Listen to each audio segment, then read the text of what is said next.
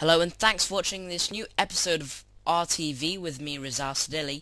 Today I'll be showing you a really cool piece of software called Ave Preview which allows you to preview images very quickly.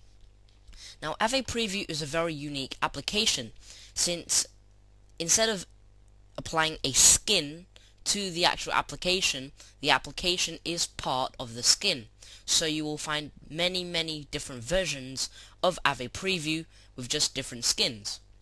So I've searched on DeviantArt, Ave Preview, and this is what I've got. So as you can see, the um, the top results are Kuro for Ave Preview, Leopard Skin for Ave Preview, and Nuala for Ave Preview. Now these are three different skins, but they all contain the application within the skin. So the skin is actually part of the application. It's built in. So I'm going to download Kuro for Ave Preview. So simply click, click download. I'm going to save the file to the desktop. And then I'm going to extract this.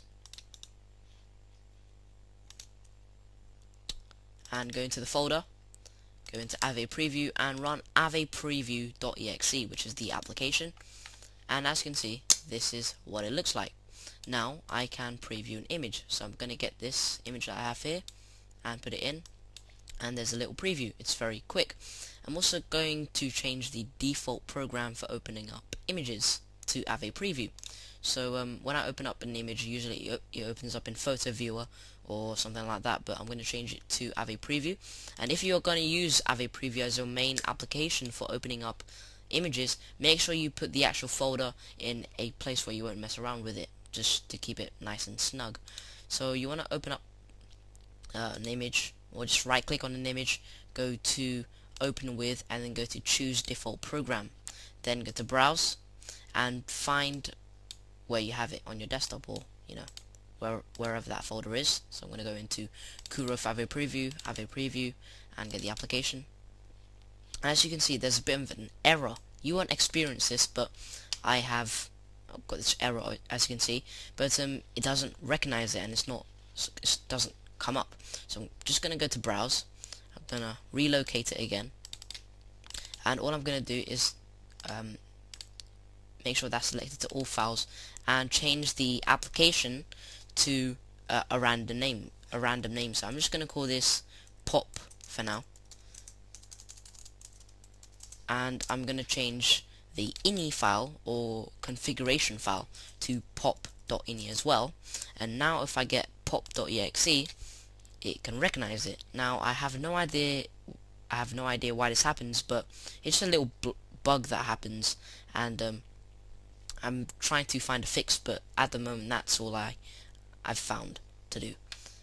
So I just double click on pop.exe, click OK. And now if I open up any JPEG image, it will open up in Ave Preview. And it's as simple as that. If I click on this one, it opens up in Ave Preview. I'll show you a quick tour of the buttons. So uh, on the left here we have the back and forward and then zoom in, zo zoom out and zoom in, um, move around when you zoomed in. Um, select the little bit uh, a select button. Basically you just um, select which bit you want and it'll zoom in on only that bit. Sort of like a cropping feature. Just actually doesn't crop but sort of like that.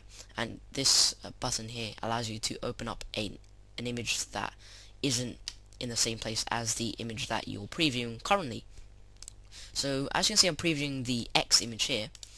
And um, with these back and forward buttons I can preview any other image on my desktop. So I have this one here. If I click on the right button as you can see it comes to that image. And uh, this basically allows me to preview any image in the same place as the image I'm currently previewing if that makes sense. But um, if you want to view an image that isn't in the same place or in the same folder as the one you're currently previewing you just click on this button here and uh, it will allow you to select another image. By the way, all of these buttons will be different in any other skin that you that you pick. So because because it's very unique and the skin being the actual application, you'll find you know various different styles. and um, in some cases there are extra buttons and extra functionalities to Ave Preview which are quite cool. So um, thanks for watching this episode of RTV with me Rizal and uh, see you next time and bye bye. So here you can fan the page on Facebook, you can ask me a question at formspring.me and you can also follow me on Twitter at twitter.com forward slash RizalTV.